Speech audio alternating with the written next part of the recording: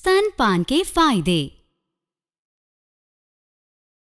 माँ का दूध शिशु के लिए सर्वोत्तम आहार है, लेकिन फिर भी क्या हमें स्तनपान के बारे में सही जानकारियाँ हैं?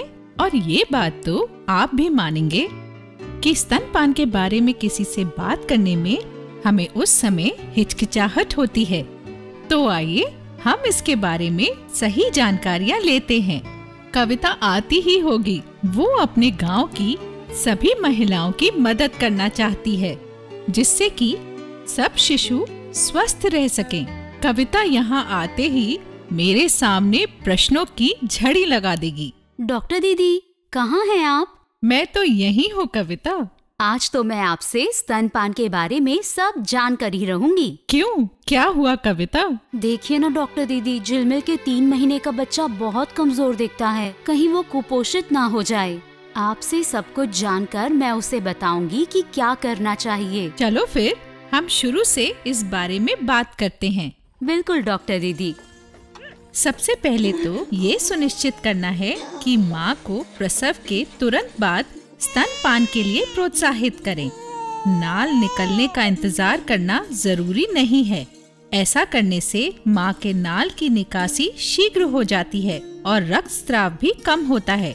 इससे शिशु का भी शरीर गर्म रहता है। माँ के स्तन से दूध जल्दी निकलने लगता है। शिशु को माँ की छाती से चिपका कर रखना चाहिए। ध्यान रहे, शिशु को कोई और दूसरा पदार्थ जैसे चीनी का पानी शहद गाय या बकरी का दूध घुट्टी और यहाँ तक कि पानी भी नहीं पिलाना चाहिए। डॉक्टर दीदी वो मेरी सहेली है ना बबीता?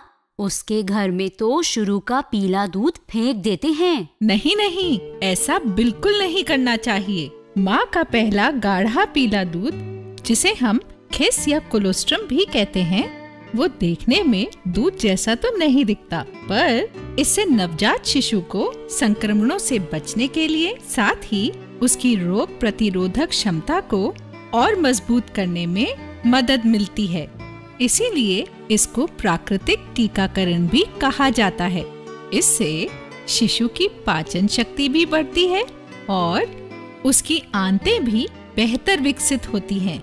साथ ही साथ शिशु को पीलिया होने से भी बचाता है। डॉक्टर दीदी मैं सबको ये बात ज़रूर समझाऊँगी। हाँ और ये भी समझाना जब अच्छे से दूध आने लगे तो माँ को पहले एक स्तन का दूध शिशु को अच्छे से पिलाना चाहिए फिर दूसरे स्तन का। ज़्यादातर शिशु 10 से 15 मिनट में एक स्तन का दूध पी लेता है। और ऐसे में माँ को स्तन के कोमलता का एहसास होता है, जिससे उसे अंदाज हो जाता है कि अब वो दूसरे स्तन का दूध पिलाए। शुरू में दूध थोड़ा पतला होता है, जिसे डॉक्टरी भाषा में फोर मिल्क कहा जाता है। इसमें कई ऐसे ज़रूरी पोषक तत्व होते हैं, जो शिशु के विकास के लिए बहुत आवश्यक होते हैं और इसमें पानी स्वाभाविक तौर से ज़्यादा होता है, इसलिए बच्चे को पानी की अलग से आवश्यकता नहीं होती और बाद का दूध जिसे हाइंड मिल्क कहते हैं वो गाढ़ा होता है और उसमें चर्बी ज़्यादा होती है जो शिशु के लिए आवश्यक होती है। डॉक्टर दीदी कभी कभी शिशु दूध पीते वक्त बहुत तंग करते हैं और रोते ही रहते हैं। माँ भी परेशान हो जाती है। ऐसा क्यों होता है? हाँ कविता। ऐसा ज़्यादातर शिशु को सही तरीके से दूध ना पिलाने की वजह से होता है। उससे शिशु को सही मात्रा में दूध नहीं मिलता और वो भूख के कारण रोता रहता है और माँ को भी लगता है कि शायद उसे दूध ठीक मात्रा में नहीं बन रहा है। इससे वो भी तनाव में आ जाती है। तो क्या डॉक्टर दीदी स्तनपान का भी कोई खास तरीका होता है क्या? बिल्कुल पहले माँ को खुद आरामदेह तरीके से बैठना चाहिए। फिर माँ को शिशु का मुँह अपने स्तन की तरफ़ ऐसे रखना चाहिए कि उसका सिर, गर्दन और कूले एक सीधी रेखा में हो। माँ को शिशु के गर्दन के साथ साथ उसके कंधे को भी हाथ से सहारा देना चाहिए। शिशु की नाक स्तन से बंद नहीं होनी चाहिए। शिशु की थोड़ी माँ के स्तन से छुलनी चाहिए।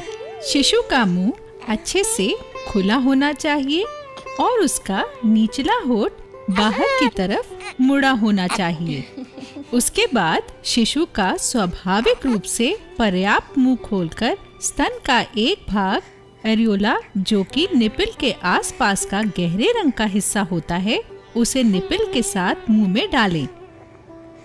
ध्यान रहे, केवल निपिल नहीं, माँ को दूध पिलाते वक्त शिशु के चूसने और दूध को निगलने का एहसास होना चाहिए। माँ बच्चे को दूध बैठकर और लिटाकर भी पिला सकती है। जब जब भी बच्चा रोए, उसे स्तनपान ज़रूर कराना चाहिए। लगभग छह से आठ बार दिन में और तीन से चार बार रात में शिशु को दूध पिलाना चाहिए। रात को शिशु को दूध पिलाने से माँ के शरीर में एक खास हार्मोन बनता है। जिससे माँ को दूध ज़्यादा बनता है। समझ गई। डॉक्टर दीदी माँ को शुरू के छह महीने क्या क्या खाना चाहिए? हाँ माँ की खुराक संतुलित और पौष्टिक होनी बहुत ज़रूरी है।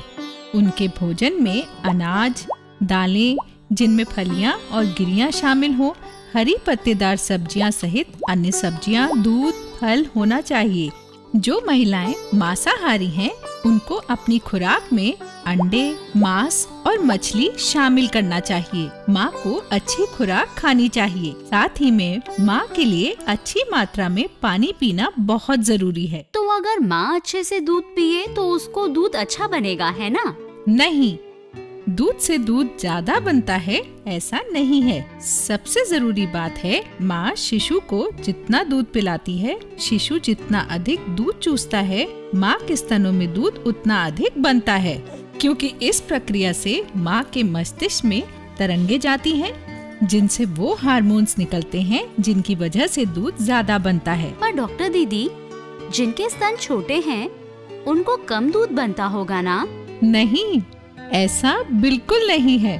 तन के आकार का दूध की मात्रा पर कोई प्रभाव नहीं पड़ता है। डॉक्टर दीदी हम बच्चे को गाय या बकरी का दूध क्यों नहीं पिला सकते? ये तुमने अच्छा सवाल पूछा कविता। गाय और इंसान के दूध में कई कुदरती अंतर होते हैं। माँ के दूध में सही मात्रा में पोषक तत्व जैसे कि प्रोटीन्स, माइक्रोन्यूट्रिएंट्स, फैट्स होते हैं जो कि शिशु के विकास के लिए आदर्श संतुलित पोषण प्रदान करता है। साथ ही ये शिशु के लिए सुपाच्य होता है और उसकी रोग प्रतिरोधक क्षमता भी बढ़ाता है।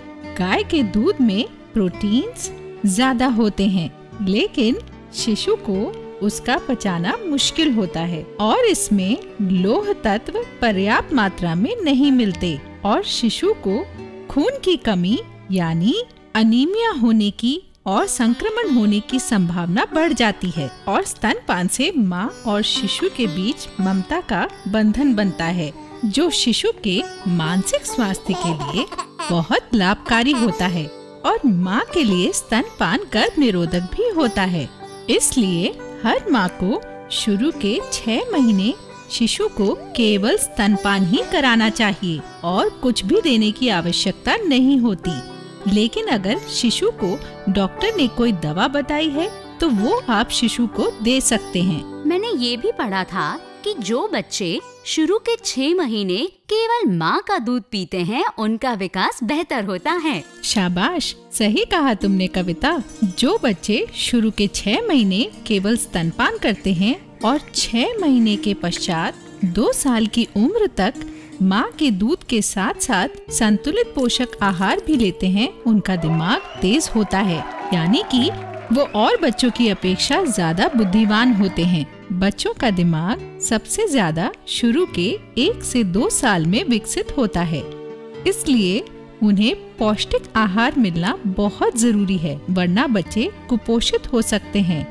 और भविष्य में ऐसे बच्चे शिक्षा के क्षेत्र में प्रगति नहीं कर पाते। उनकी कार्य क्षमता घट जाती है। डॉक्टर दीदी क्या दूध बनने से माँ कमज़ोर हो जाती है? नहीं नहीं। स्तन पान कराने से माँ को कई फ़ायदे होते हैं। माँ को स्तन गर्भाशय और अंडाशय कैंसर होने की संभावना कम होती है।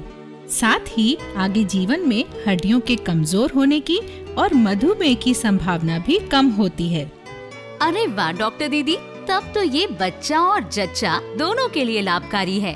लेकिन कुछ माओ को काम पर जाना पड़ता है ऐसे में उनको क्या करना चाहिए? ऐसे में या तो बच्चे को काम पर लेकर जाएँ और बीच बीच में बच्चे को दूध पिलाएँ या फिर अपने स्तन से दूध निकालकर बच्चे के लिए रख कर जाए ताकि घर का कोई बड़ा सदस्य बच्चे को उसे पिला सके।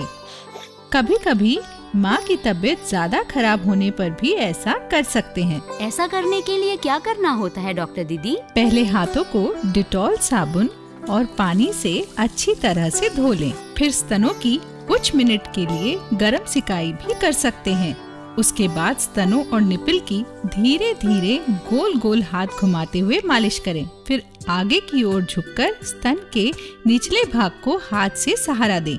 दूसरे हाथ के अंगूठे और उंगलियों से स्तन के आगे के भाग को पकड़ें। फिर दो उंगलियों को निपिल के नीचे रखें। फिर छाती की ओर दबाव डालें और स्तन का दूध एक साफ़ बर्तन या कटोरी में निकालें। अंगूठे और उंगली को निपिल के चारों ओर घुमाएँ ताकि दूध सभी कोशिकाओं से बाहर निकल जाए। ध्यान रहे निपिल को ना निचोड़ें।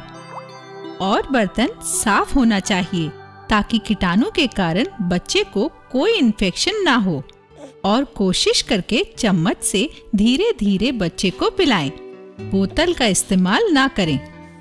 और हाँ माँ का दूध सामान्य तापमान में आठ घंटे तक खराब नहीं होता है और इसको उबालने की कोई ज़रूरत नहीं होती। पर दीदी कैसे पता चलेगा कि बच्चे को सही मात्रा में दूध मिल रहा है? अच्छा सवाल है कविता।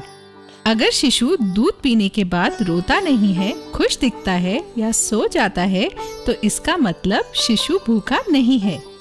साथ में शिशु के वज़न की सही समय पे जाँच होती रहनी चाहिए।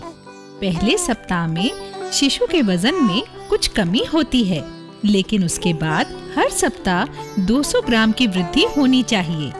आमतौर पर पाँच से छह महीने के उम्र में शिशु का वज़न, जन्म के वज़न का दो गुना हो जाना चाहिए। लेकिन शिशु का वज़न एक महीने में 500 ग्राम से कम बढ़ना या शिशु का वज़न जन्म के वज़न से कम होना और शिशु का एक दिन में छह बार से कम पेशाब करना, पेशाब पीला होना और बदबूदार होना या शिशु का मल कठोर, सूखा या हरा होना, ये सब संकेत देते हैं कि शिशु को सही मात्रा में दूध नहीं मिल रहा है और इस परिस्थिति में डॉक्टर से सलाह ज़रूर करनी चाहिए। डॉक्टर दीदी कुछ माँ के स्तन में स्तनपान के दौरान दर्द होता है या निप्पल सूज जाते हैं तब क्या करना चाहिए? हाँ कविता ऐसा ज़्यादातर सही तरीके से दूध ना पिलाने की वजह से होता है। स्तन पान कराना जारी रखें। स्तन को एक दो बार पानी से दिन में धोएँ, लेकिन साबुन का इस्तेमाल ना करें।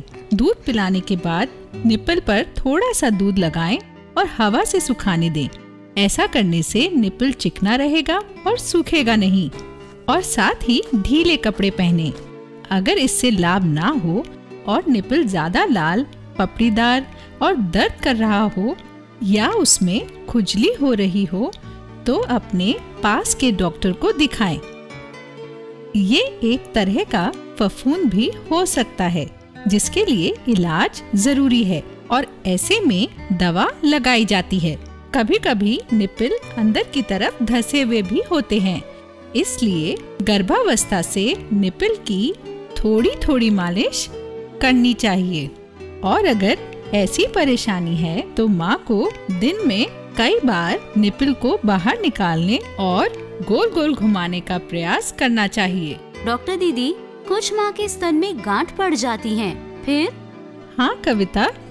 ये भी सही तरीके से दूध ना पिलाने या स्तनों के पूरे खाली न होने देने के कारण होता है।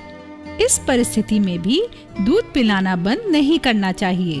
स्तनों की गर्म सिकाई करें और धीरे धीरे मालिश करके थोड़ा दूध निकाल लें, जब तक कि स्तन का अग्रभाग नरम ना हो जाए।